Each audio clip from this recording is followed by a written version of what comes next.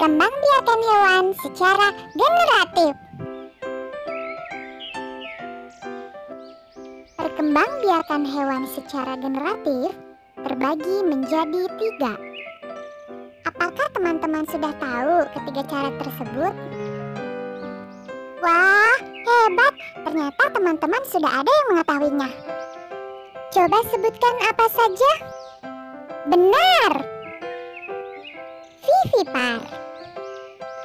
Kemudian ada ovipar dan ovipipar. Vivipar. Vivipar adalah perkembangbiakan hewan dengan cara melahirkan. Ciri-cirinya adalah memiliki kelenjar susu, menyusui anaknya, dan termasuk hewan mamalia. Memiliki daun telinga. Induk melahirkan dan menyusui anaknya. Contoh dari hewan vivipar adalah sapi, kambing,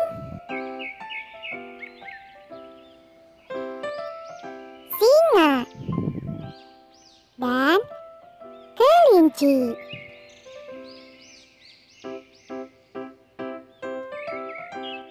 Ovipar Ovipar adalah perkembangbiakan hewan dengan cara bertelur. Ciri-ciri hewan ovipar adalah tidak memiliki kelenjar susu, tidak menyusui anaknya, bukan termasuk hewan mamalia, tidak memiliki daun telinga, dan embrio berkembang dan tumbuh di dalam telur. Contoh hewan ovipar adalah ayam, burung merpati, dan penyu.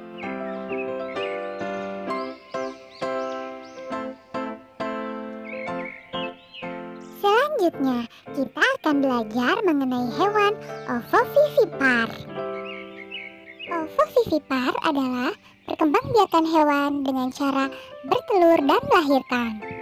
Pada hewan ovovivipar, embrio tumbuh dan berkembang di dalam telur yang berada di dalam tubuh induknya. Embrio mendapatkan makanan dari telur, bukan dari tubuh induknya. Telur akan menetas dan individu baru akan keluar dari tubuh induknya. Contoh hewan ovovivipar. Ikan hiu.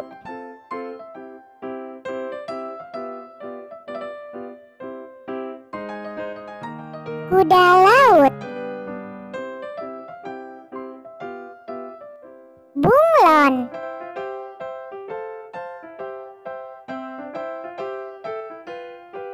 Pembahasan perkembangbiakan hewan secara generatif telah selesai kita bahas. Terima kasih teman-teman sudah belajar bersama.